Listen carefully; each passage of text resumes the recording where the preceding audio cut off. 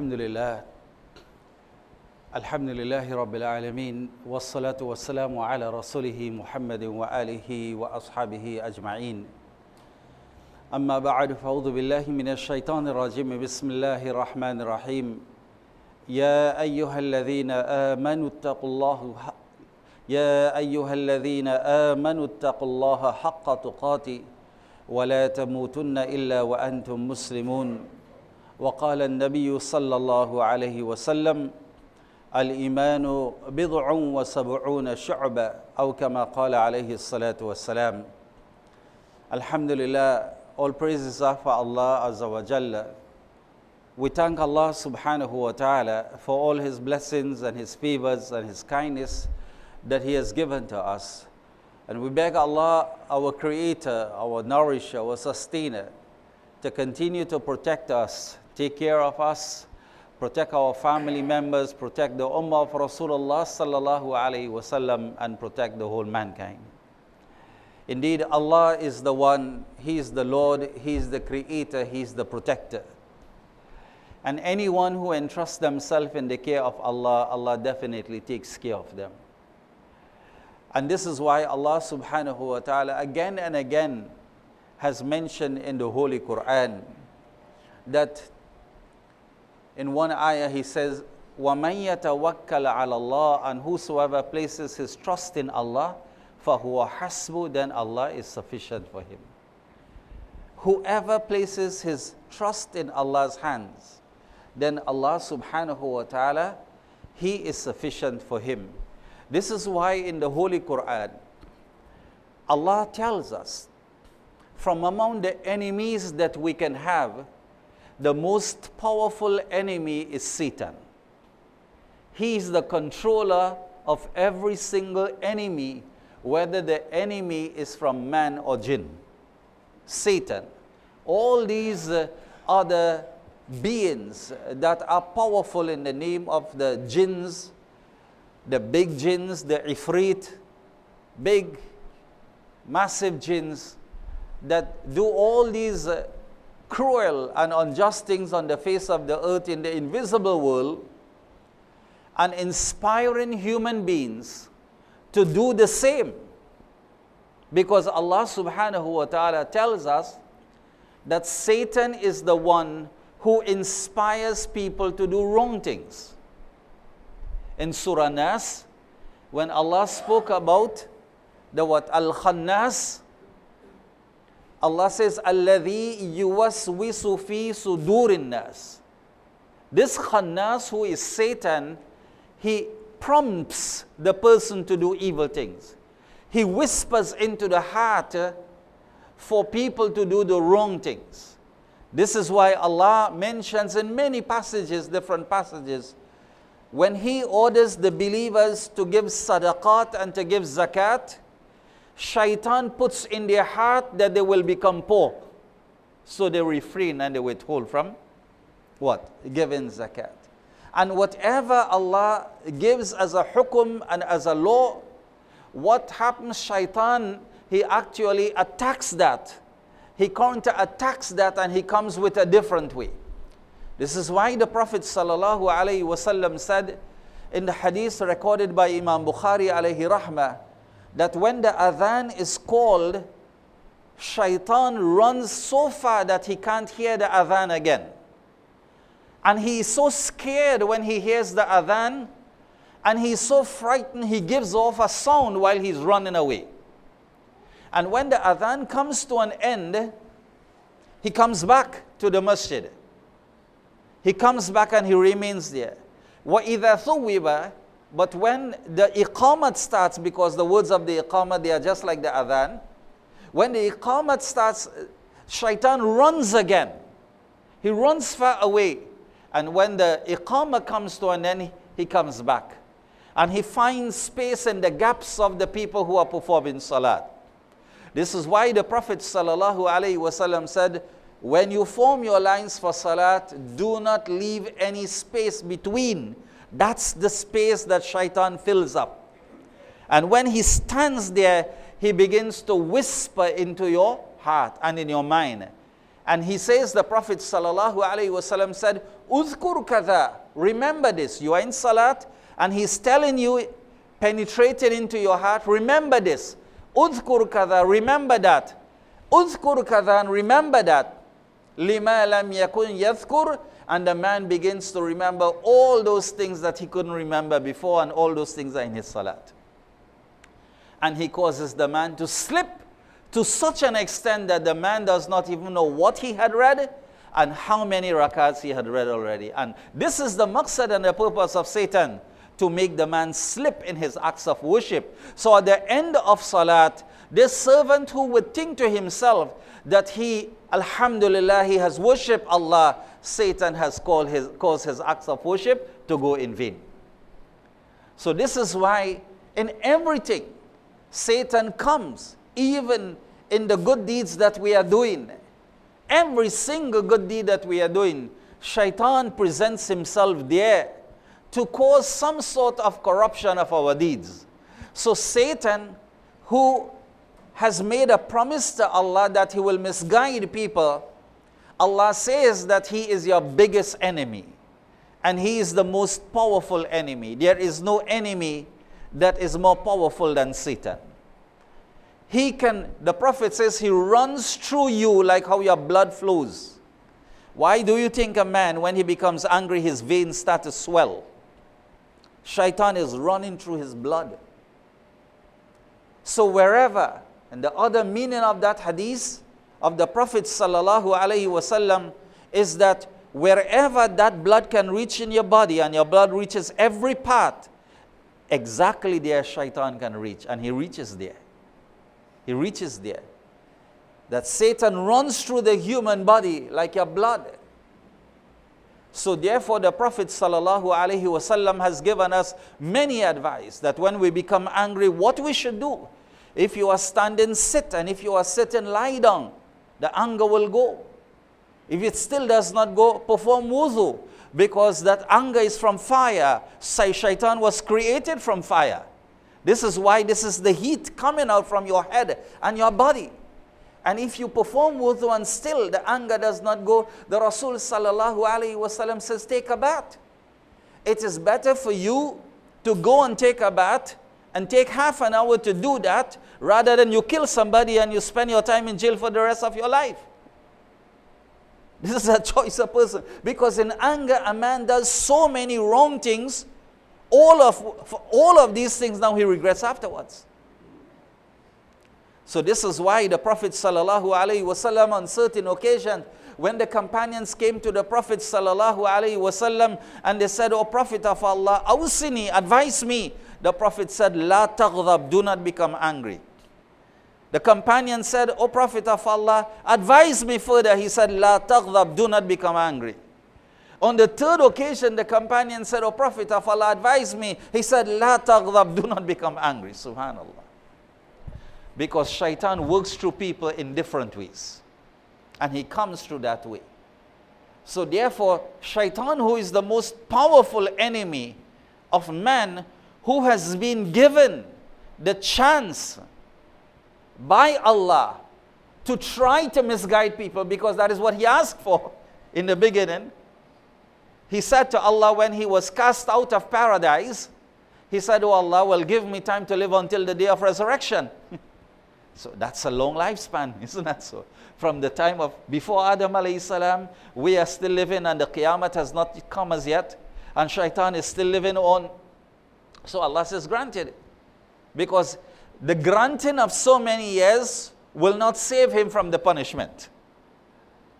So after he was given that lifespan to live until the day of resurrection, he will be destroyed until the day of, of uh, on the day of resurrection. Why? Because the promise of Allah is that he will only live until that day. Allah says, That's my promise. To you, you will live until the day of resurrection. After Allah gave him that, and Allah does not go against his promise, he says, Oh Allah, since you have given me such a, li- a long lifespan, I will misguide all your servants. I will do that.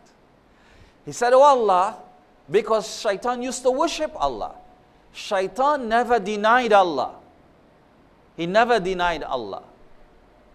So kufr does not only consist of denial of Allah. Kufr consists of other things also. Shaitan is the one who worshipped Allah in every story of the seven stories of paradise. In the authentic traditions, it is mentioned that there, there was not a spot in all the stories of paradise except that shaitan had made sajda on that spot. He continued to be a leader above the angels. He lived in paradise. He was not in hell. He lived in paradise until after Allah created Adam alayhi salam. And then Allah ordered all the angels to, out of respect, bow before Adam. Every angel did that. Satan said, I can't do that. I can't do that, Allah. Because this man, Adam, a human being, you have created from clay. And you have created me from fire. And the quality of clay is to go down. And the quality of fire is to rise. Ana khayrum minhu. I am better than this man. How can I bow before this man if I am better than him? That's what he said to Allah. He opposed Allah. He challenged Allah. I am better than him. Allah says, Get out from here. And from today on, you shall be Ar Rajim, the accursed one. So he is Ar Rajim, the cursed one.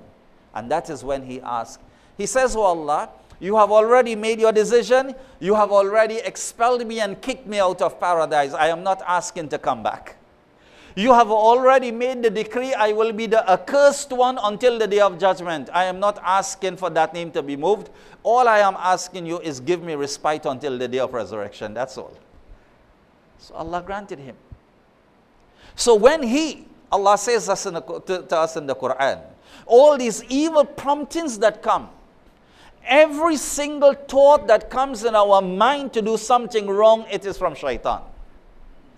Then the body and the mind and the heart processes that, and the actions then come from the limbs of the body.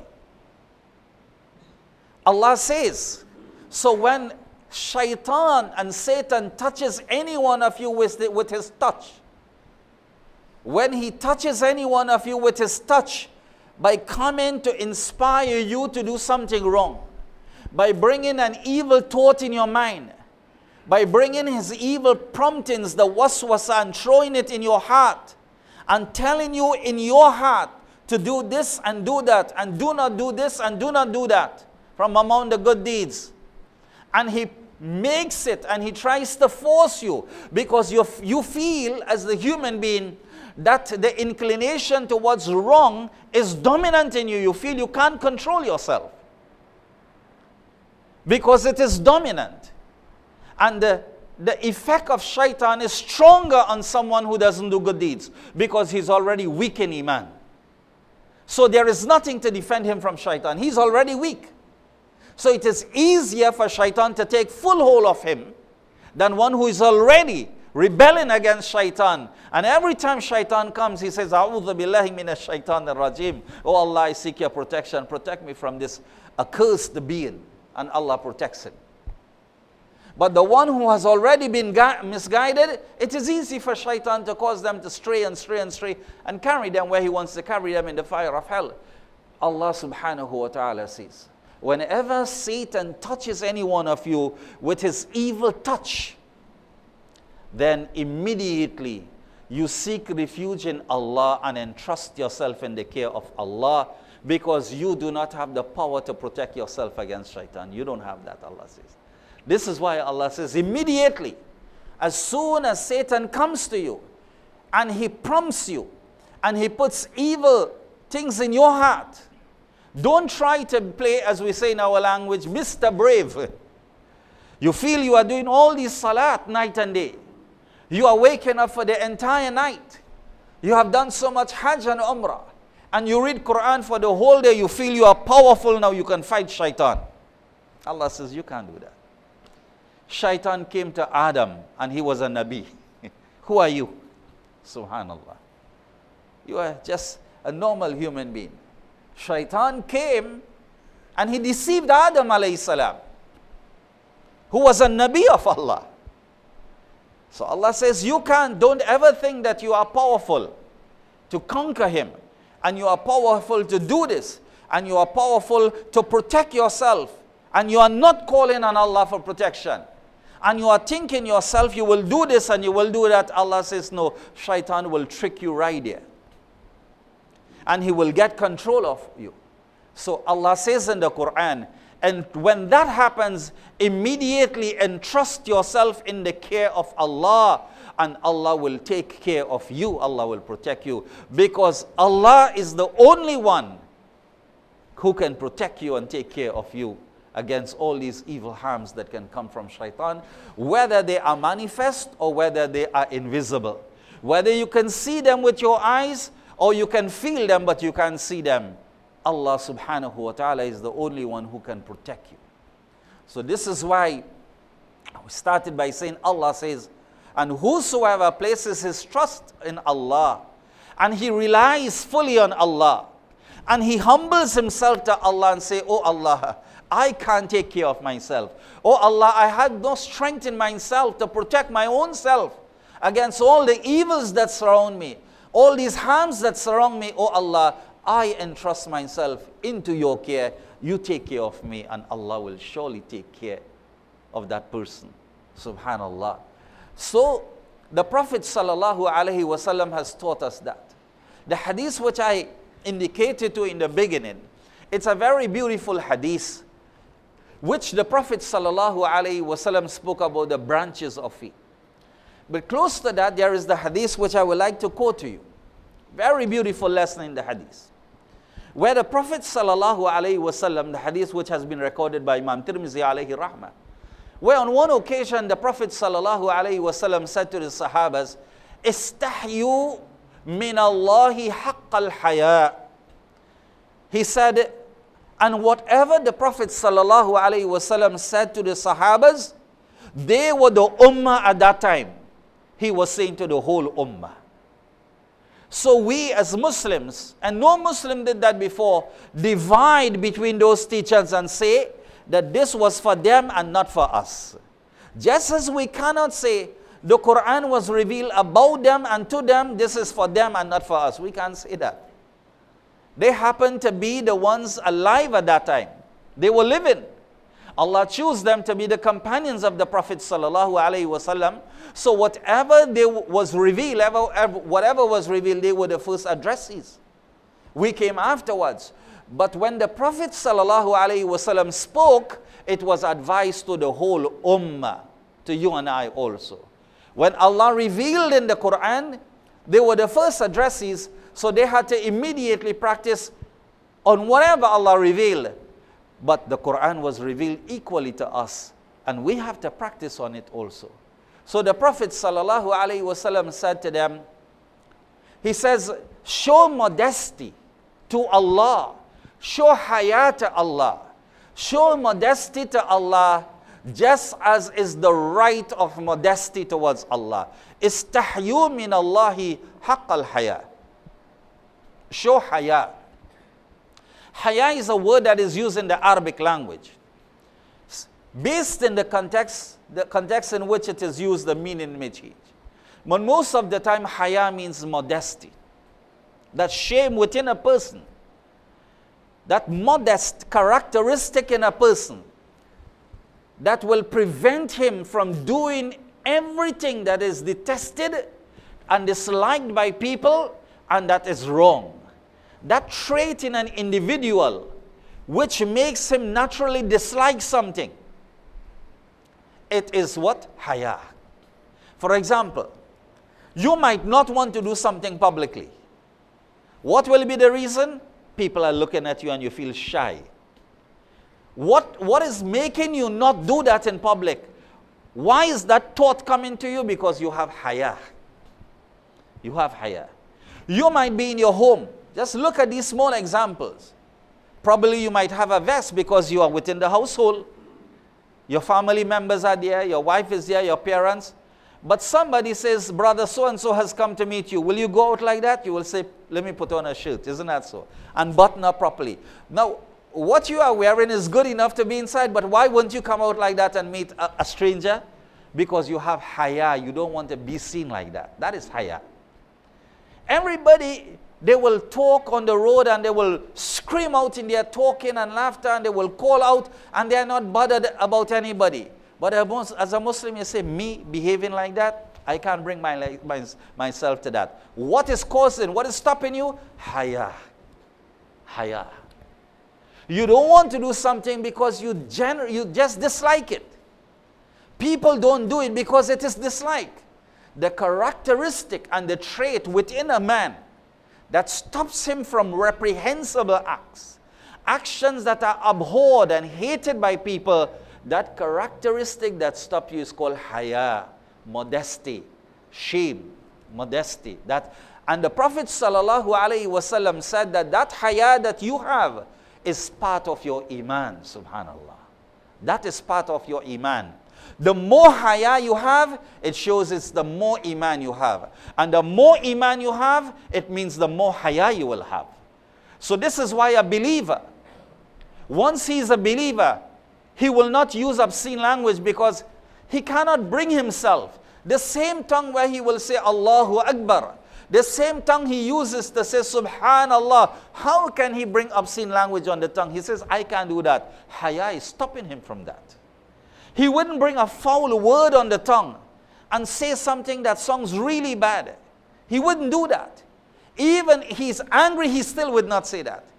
He's angry, he's having a quarrel, still he will hold back and he will say, he might be tempted to say it, but then he will say, No, I can't say that, brother.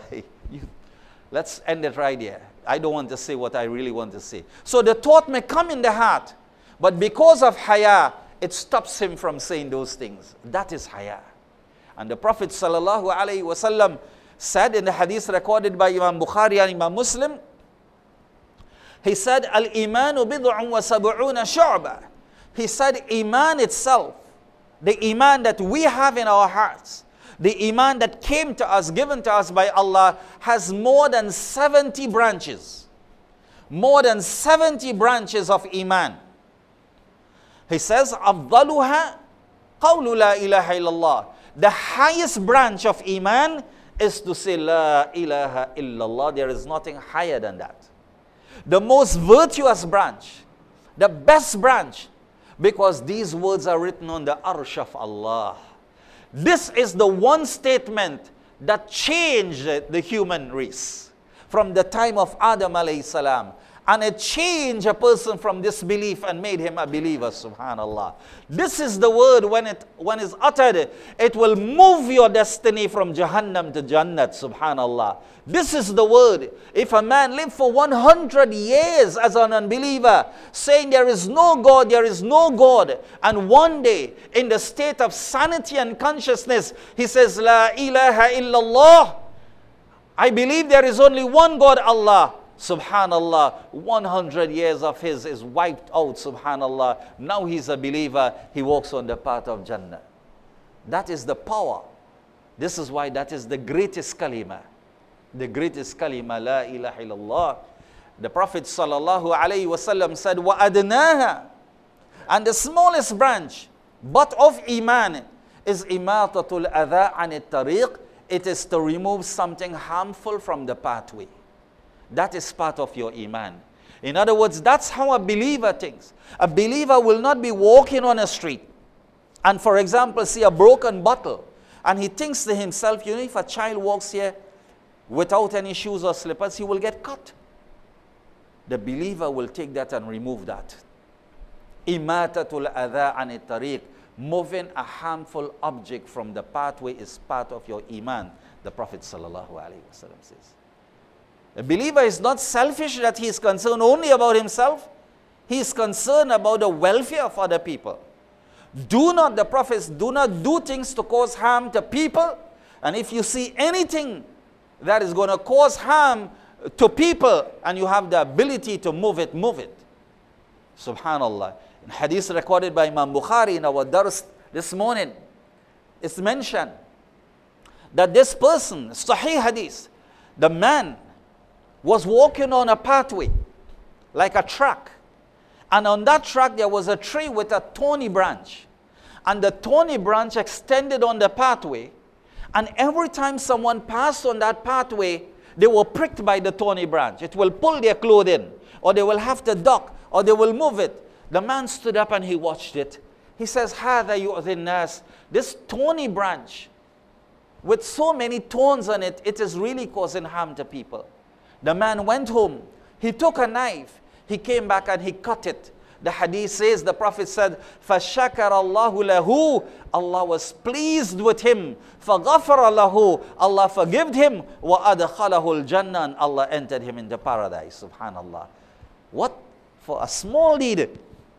Huh? Removing a harmful object from the pathway of people. The Prophet ﷺ says, that is a branch of Iman. So we are believers we must never think that that is too low for us to bend down and pick up something that will cause harm to people. It can be in your home also. It can be coming to the masjid. It can be in the masjid. But that is part of the iman. That is not outside iman. Then at the end of the hadith, the Prophet sallallahu alaihi wasallam said, "Wal shu'batun min al iman." And haya, modesty, is part of your iman. That is a, a part of your iman. Once you have iman, haya is there. And if a person has iman and haya is not there, then he needs to search his iman again. Whether what he has is real iman or not. On one occasion, the Prophet sallallahu wasallam, Imam Bukhari has mentioned the tradition also, was passing on the road and he heard one Ansari uh, companion telling another Ansari. He was kathirul haya, one person he had a lot of haya. So the more haya you have, you will find that that individual will refrain from something. He will always refrain. Sometimes he may not want to talk for people to hear because he's, as they will call it, shy. He feels bad. He doesn't want to do it. He feels shy. He doesn't want to do this. Haya in him. So this is why Imam Bukhari mentioned in the chapter of ilm, he says if you have naturally have a natu- you have naturally haya, a lot of haya, now, when you have haya, you don't like to talk to be heard. You know, you don't like to say something that people will hear. They will say so and so. You know, how people are, they feel shy.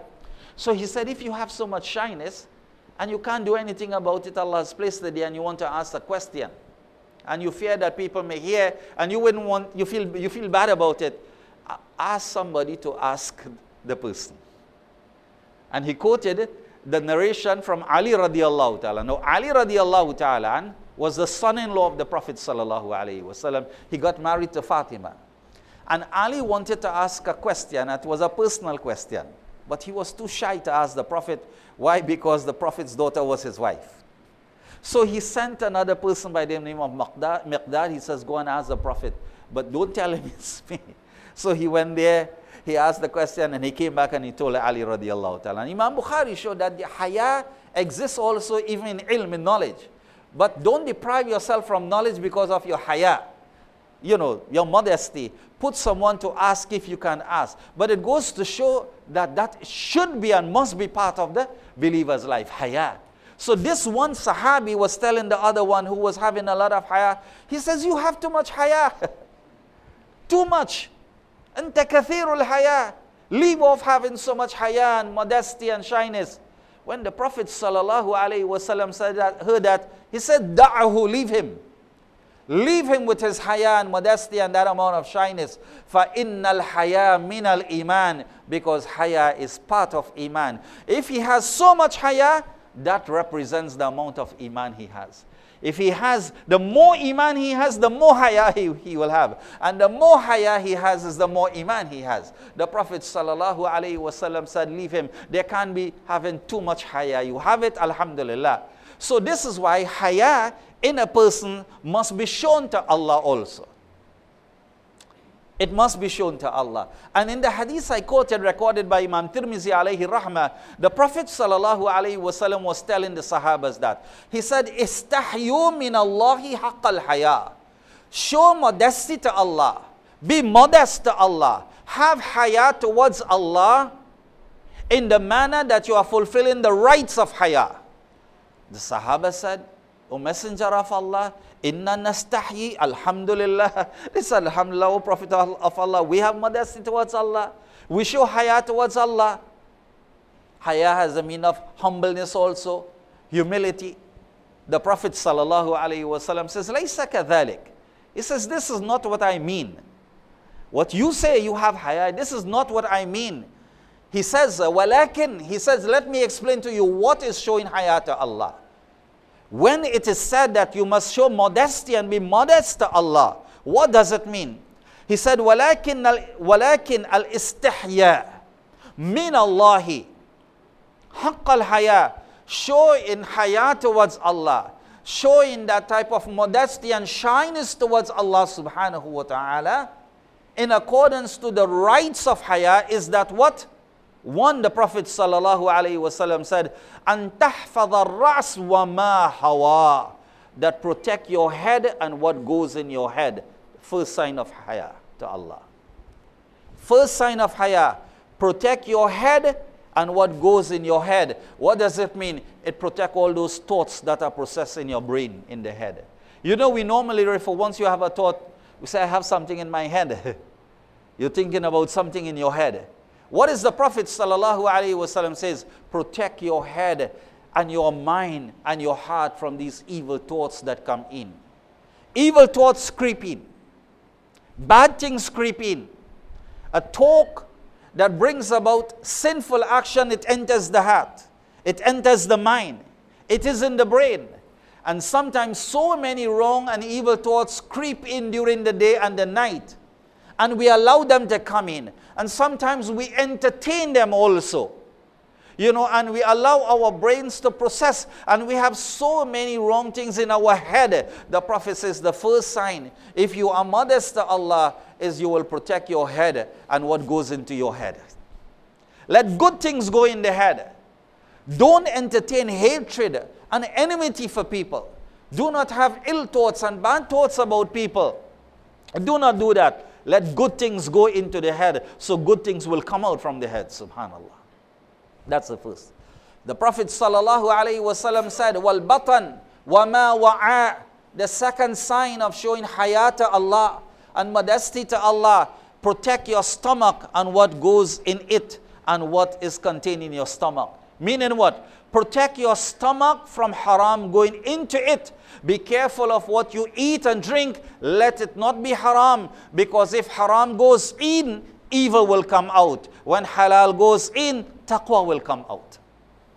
This is why Allah subhanahu wa ta'ala revealed and the Prophet sallallahu alayhi wasallam said Allah has revealed the same law to the believers as he had revealed to the Anbiyas and the Prophets. And he said, eat and drink that which is pure and wholesome. وَعَمَلُوا صَالِحًا And do good deeds.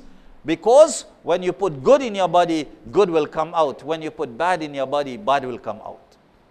So the Prophet said, This is a sign that you will be showing hayat to Allah. Because when we stand before Allah, Allah does not look at the faces, how colorful the faces may be, how pretty or handsome the faces will be, how beautiful our garments will be.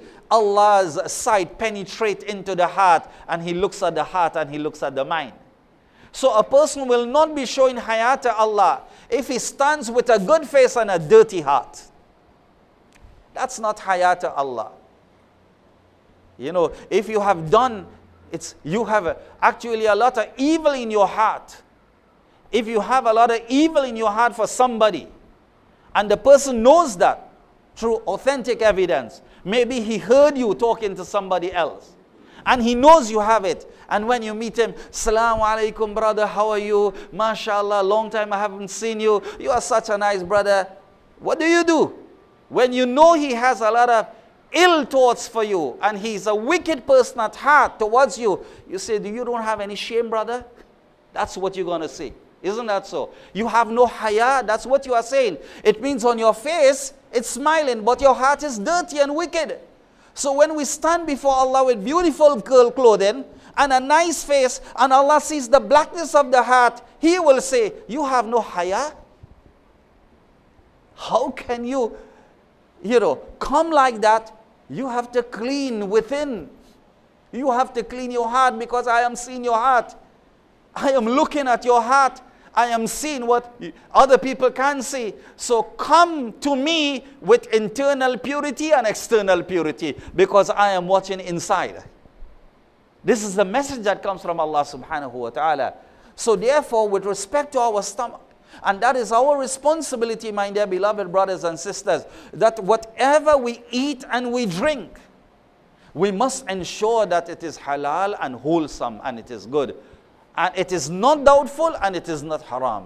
And the third sign, the third sign of having haya and showing modesty to Allah, the Prophet sallallahu alaihi wasallam says, "Wa antadhkur al maut wal bala," that you remember your death and remember your life after the death. What's going to happen to you? Remember that.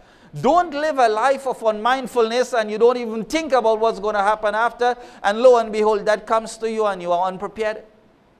The Prophet ﷺ says, if you have haya towards Allah, you will think about that and what, is full, what will follow after that. Your life in the grave, your life in barzakh, you're standing before Allah. And if a person thinks about these things, it will help him to mend his ways and do that which is right. The Prophet at the end of the hadith, he said, Man fa'ala dhalika, whosoever has done these three things, faqad istahya minallahi haqqal haya. Then he has indeed shown modesty to Allah in accordance to the rights of haya and modesty. So this hadith gives us a beautiful teaching my dear beloved brothers and my dear sisters and something we didn't know but we all learn that the prophet sallallahu alaihi wasallam has ordered us that we also have to show haya to Allah we have to show modesty to Allah also. And how do we do that? That is what He has explained to us in the hadith. May Allah subhanahu wa ta'ala guide us and protect us and give us the ability to make amal on these beautiful teachings of our Rasul sallallahu alayhi wa sallam. Wa la akhir da'wana an alhamdulillahi rabbil alameen.